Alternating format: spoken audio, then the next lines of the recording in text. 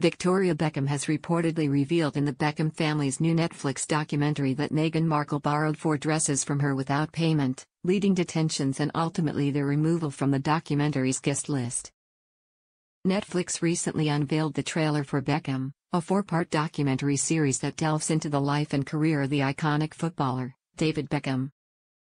The series also offers insights into the Beckhams' relationships, their ability to navigate social circles, and the challenges of dealing with individuals who appear as friends but may not be genuine. Notably, the trailer features appearances from some of Victoria and David Beckham's friends, including Tom Cruise, Katie Holmes, Jada Pinkett Smith, and others. However, what has raised eyebrows is the absence of Meghan Markle and Prince Harry, who recently signed a deal with Netflix to produce documentaries and other content.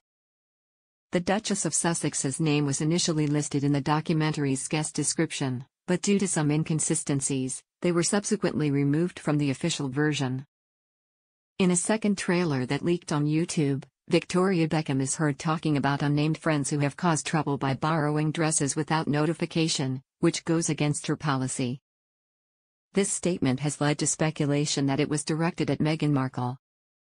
An insider explained that Victoria had a significant history with Meghan, initially being friendly with her when Meghan and Harry wanted to visit her store and sought advice on London and the Cotswolds, where they were neighbors. However, their relationship took a sour turn when Meghan made overtures about wearing Victoria's clothing. While Victoria was willing to offer a discreet discount to friends, she did not provide free dresses, adhering to her policy. This led to a confrontation between Harry and David Beckham, as Meghan accused Victoria of selling stories about them to the media. Meghan also publicly claimed that Victoria's dresses didn't suit her, despite having worn them on numerous occasions in the past. The situation escalated when the Beckhams discovered that Harry and Meghan were spreading rumors that the couple had falsely accused them of leaking stories to the press. This discovery soured their relationship further.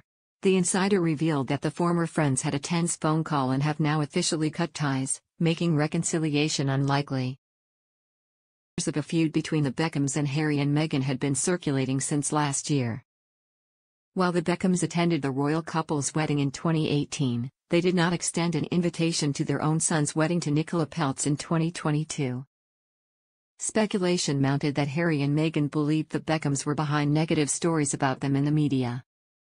According to royal expert Tom Bower, this feud is explored in his book Revenge, Meghan, Harry, and the War Between the Windsors.